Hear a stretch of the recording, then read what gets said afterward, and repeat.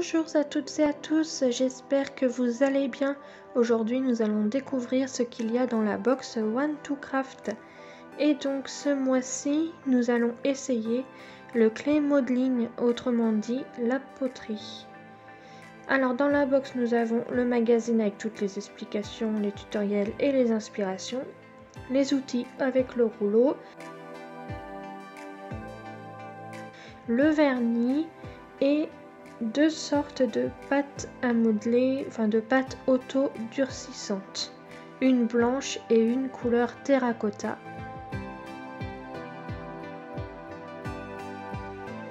Donc dans le magazine, nous avons comme d'habitude un édito, ensuite euh, le matériel avec la pâte qui est donc une pâte une argile auto-durcissante, les outils, le rouleau et ensuite le vernis. Ensuite, nous avons les explications de comment faire. Et ensuite, nous avons différents tutoriels faciles et un petit peu moins faciles, dont un avec euh, la citrouille pour euh, Halloween qui arrive la semaine prochaine. One to Craft nous fait aussi euh, réutiliser les box précédentes car il y a des créations avec euh, de la peinture qu'on peut réutiliser de la box dot painting et également avec du macramé que l'on avait dans la box macramé. C'était la toute première box en juin. Dans les inspirations, il y a deux choses qui me plaisent particulièrement la petite soucoupe avec euh, rebord et un vide-poche. Je pense que je vais faire deux créations différentes. Donc euh, un en couleur euh, terracotta et une en blanc. Et donc ce qu'il y a de bien avec Craft, c'est qu'il y a vraiment tout. Pour protéger notre plan de travail, il y a aussi le papier craft que nous pouvons utiliser. Pour faire le premier vide-poche, je vais utiliser un bol et ainsi qu'une éponge un petit peu humide je vais prendre un morceau de la pâte terracotta.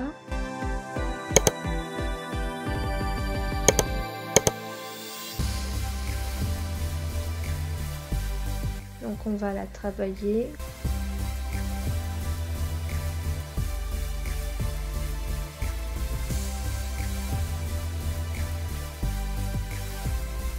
Donc vraiment par contre cette pâte là ça en met partout euh, au niveau de la couleur, on en a plein les mains, il y en a plein le rouleau. Pour faire ma création blanche après, il va bien falloir se tout laver pour pas mettre de, couleur terracotta sur le blanc. Ensuite on aplatit bien la pâte avec le rouleau.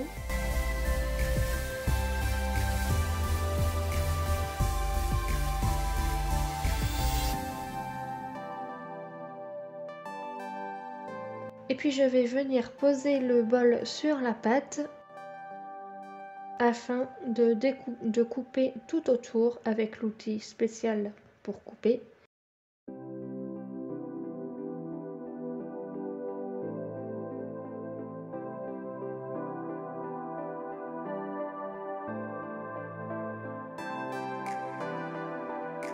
On enlève le surplus de pâte et n'oubliez pas que la pâte, il faut bien la conserver dans des boîtes hermétiques ensuite après avoir ouvert les sachets pour ne pas qu'elle durcisse. Donc voilà, on a notre rond sur l'envers du bol. Je vais venir poser ma pâte et bien aplatir sur le bol et ensuite je lui donne la forme que je veux. Donc avant je rongeais mes ongles et je trouve que que ce n'était pas plus mal. Parce que là, avoir les ongles longs pour cette activité-là, euh, vraiment, ça me fait des marques d'ongles euh, parfois sur la patte. Donc, c'est pas l'idéal. Mais voilà, donc là cette fois-ci euh, c'est surtout des essais, euh, les créations que je vais faire. J'en referai au moment de Noël pour faire des, cadeaux ou quoi que ce soit je pense. C'était dans mes idées de, cadeaux et là je pense que bah voilà ça concrétise vraiment euh, mon idée de départ. Donc j'espère que je me serai un peu plus perfectionnée dans cette technique. Donc ensuite nous allons passer à un deuxième vide poche et cette fois-ci avec un petit rebord. Donc j'aplatis ma pâte toujours.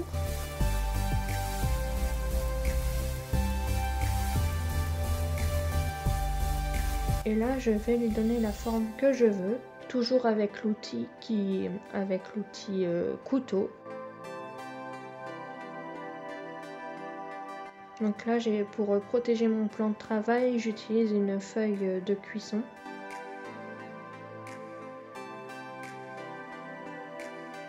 Voilà, toujours, on enlève le surplus de pâte. Et là, donc, j'ai pris mon, un petit bol d'eau et je vais venir mouiller avec mon doigt tous les contours de ma forme pour bien lisser.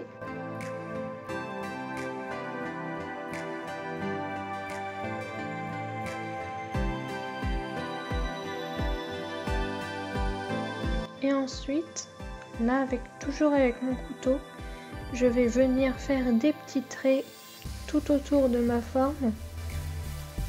Et comme ça, en repassant mon doigt qui, euh, est mouillé, euh, ça va bien imprégner euh, ma forme.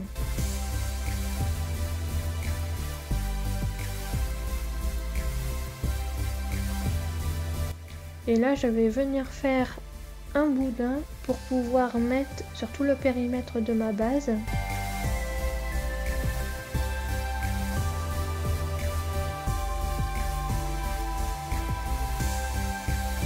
Voilà, on vient poser ça vraiment tout au bord.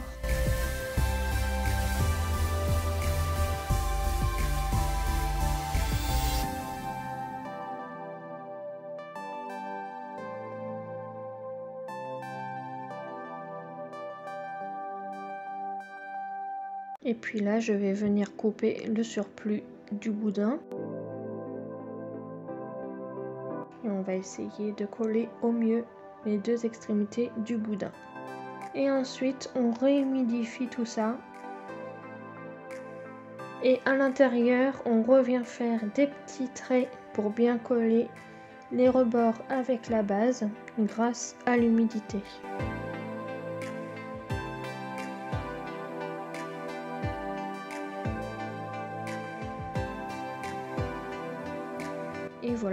Passant le doigt humide, on va venir vraiment solidifier tout ça. Donc comme je vous le disais, là, je me suis vraiment rendu compte que, que mes ongles pour cette activité-là, c'est un peu compliqué parce que ça fait vraiment des, des traces un peu partout. La prochaine fois, je les couperai.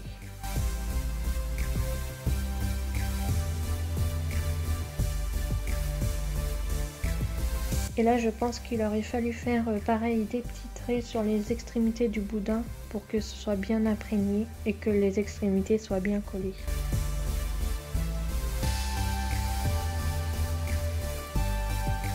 Et voilà, donc maintenant on va attendre 24 heures ou même peut-être un peu plus. On va laisser sécher tout ça.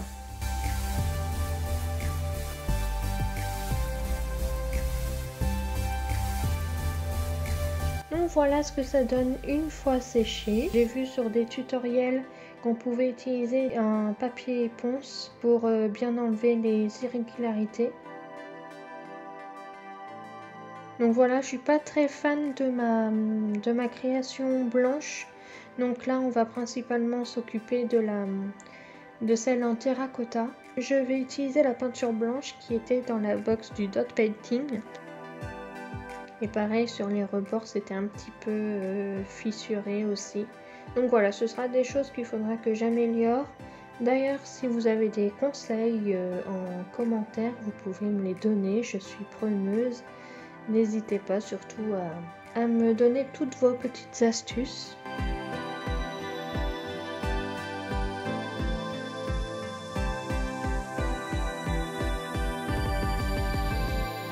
On va venir faire des petits points euh, sur toute la création à l'intérieur et sur les rebords.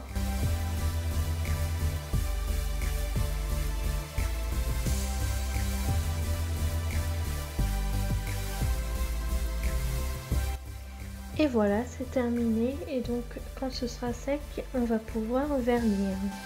Donc voilà, le vernis qu'il y avait dans la box. Et donc avec un pinceau, je vais vernir tout l'intérieur et l'extérieur également. Pour voir mon évolution et, euh, et mes prochaines créations, n'hésitez pas à vous abonner et à mettre la petite cloche pour être informé des prochaines vidéos qui seront publiées. Et pour me soutenir, vous pouvez mettre un petit pouce bleu et un petit commentaire. J'y répondrai avec plaisir. C'est la fin de cette vidéo, j'espère qu'elle vous a plu et on se retrouve dès la semaine prochaine qui sera une vidéo recette pour Halloween. Je vous fais de gros bisous et à bientôt